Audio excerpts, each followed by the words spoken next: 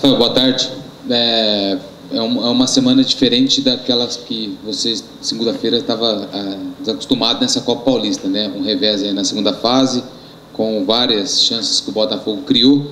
E durante essa semana acho que vai ter que ser, acho que vai ter que ser feito um trabalho diferente por parte da, da diretoria. Como é que vocês estão trabalhando com esses garotos antes do jogo decisivo que o Botafogo vai ter que correr atrás do placar para garantir a classificação para a final? Boa tarde, Lupe. É realmente um jogo que Botafogo se portou muito bem, dominou completamente a equipe do Independente, principalmente no primeiro tempo. É, criou várias oportunidades, acho que pecamos um pouco na finalização no segundo tempo e pela falta de finalização até na primeira etapa. O Independente jogou em cima de um erro dos nossos erros, né? Acabou acontecendo e conseguiu através disso fazer um gol e sair com a vitória. Méritos deles também. É, porém, eu acho que o Botafogo tem totais chances de reverter esse resultado em casa, é, apresentar o futebol que a gente perdeu um pouco nessas, nesses últimos dois jogos, no quesito mais ofensivo, né? É, eu acho que temos que dar, passar confiança para o grupo, tranquilidade. O que tinha que ser cobrado já foi feito depois de, do jogo lá em Araras, né? Então agora é união, é pensar no coletivo, que tenho certeza que a gente tem totais chances e vamos sair com essa classificação. Então, a diretoria tem, sido, tem sempre acompanhado o trabalho do dia a dia do futebol, da comissão técnica, essa vai ser uma semana diferente, é uma semifinal, o Botafogo está próximo de chegar a uma final inédita. O planejamento, a programação da diretoria é, seguirá sendo o mesmo? Caberá algum tipo de atitude diferente é, para acompanhar ainda mais de perto? Como é que você pretende, ou a diretoria de futebol pretende acompanhar essa semana de trabalho do Botafogo? Acho que da mesma forma que a gente faz, fez durante a Copa Paulista, o Campeonato Paulista, oferecendo total respaldo, apoio, que for preciso, a diretoria está fazendo para buscar essa classificação. Não é porque temos um, uma situação diferente de um revés que vai mudar alguma coisa. Vamos seguir da mesma maneira que, vemos, que a gente costuma trabalhar, é, dando segurança para os jogadores, respaldo ao trabalho do Ferreira. Tenho certeza que esse é o caminho.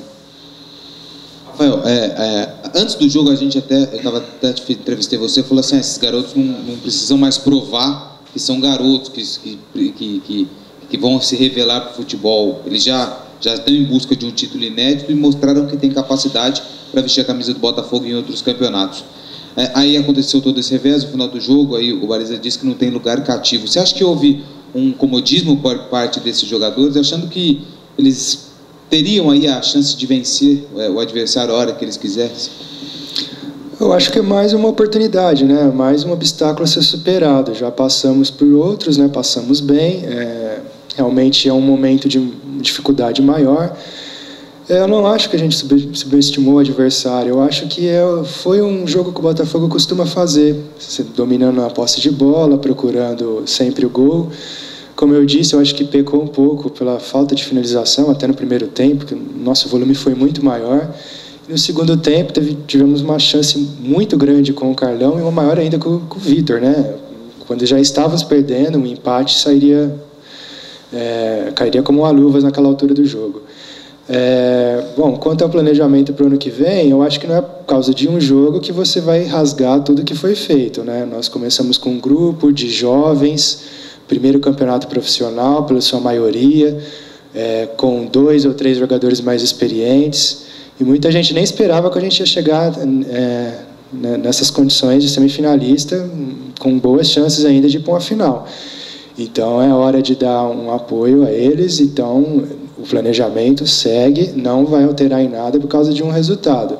Claro que no calor do jogo ali, momentos após a partida, a gente ficou muito chateado, né? Eu também, né? Pelo resultado, pelo jogo que foi. É, mas no Botafogo segue o seu planejamento sem é, mudar por causa de um resultado. Então nós vamos vamos seguir conforme nossas últimas reuniões, planejando já o Paulistão. É, então aproveitando boa parte do elenco que está aqui. Como você disse, você esteve lá em Araras, viu como é que foi é, a partida e como são as duas equipes. Acho que você mesmo pode passar esse testemunho que é, o Botafogo tem totais condições de reverter a diferença, conseguir essa vitória por dois gols de diferença, porque o Independente tem uma boa equipe, mas não é nenhum bicho de sete cabeças, é, tão equilibrado como são a grande maioria das equipes né, que disputam a Copa Paulista. E até também você falar sobre a importância da torcida. A diretoria está pensando em uma estratégia diferente para trazer mais torcedores para esse jogo importante. O Independente ele tem uma equipe, vamos assim, dizer de acostumada com Série A2, Série A3, uma equipe experiente que, que sabe explorar um erro do adversário, segurar um jogo e é assim que essas equipes conseguem seu resultado. Não é um vamos dizer assim a normalidade do Botafogo. É, tivemos que aprender, né? É, foi um golpe duro, como disse, temos totais chances de reverter e vamos trabalhar para isso. É, a presença do torcedor eu acho fundamental. É, sei que ele andou afastado na primeira e na segunda fase, mas no jogo de, diante do São Bento foi de fundamental importância. É, saímos perdendo logo de início, pessoal gritando, incentivando. Eu acho que é isso que tem que, tem que ser feito. É, Para isso, a diretoria está abrindo toda a arquibancada, que era um pedido já antigo de alguns torcedores. É, esperamos aí pelo menos o dobro, né, de quantidade de, de, público que tivemos diante do São Bento. Essa é a nossa expectativa e que essa torcida venha para nos ajudar, para jogar junto é, e colaborar com a equipe dentro de campo. Só é, para finalizar, a gente foi muito questionado o, o Vitor, principalmente por esse lance que ele perdeu na partida, que poderia ter sido uma história diferente, como você acabou de dizer anteriormente. Como é que a diretoria está tá lidando com principalmente com esse jogador, porque ele é, é, é, um, é, um, é, um, é um bom jogador, tem dado bons, bons frutos nessa competição, mas que em alguns momentos peca pelo individualismo. Como é que vocês estão lidando especificamente com o Vitor? Olha, Lupe, o jogador foi, de fundamental importância até agora, né? O seu número de gols, número de assistências, é, talvez o perfeccionismo, detalhe, o simples eu acho que tem que sempre prevalecer. O arroz com feijão, humildade simplicidade. Eu acho que o recado foi passado para ele, acho que ele entendeu, não, não só ele, para o grupo todo, né? Não cabe a mim ficar apontando erros individuais. Quando erra, erra o conjunto. É, ele então teve essa cobrança sim, nesse sentido, fazer o simples, né? O arroz com feijão, priorizar o conjunto, o grupo, o coletivo. Esse é o segredo para sair com a classificação. É, houve algum motivo para adiar a, a, representação de hoje para amanhã ou nada no planejamento? Não, foi é, mais para treinar no horário do jogo. Né? Nós, nós vamos treinar a semana inteira às 10 da manhã para habituar com o horário da partida.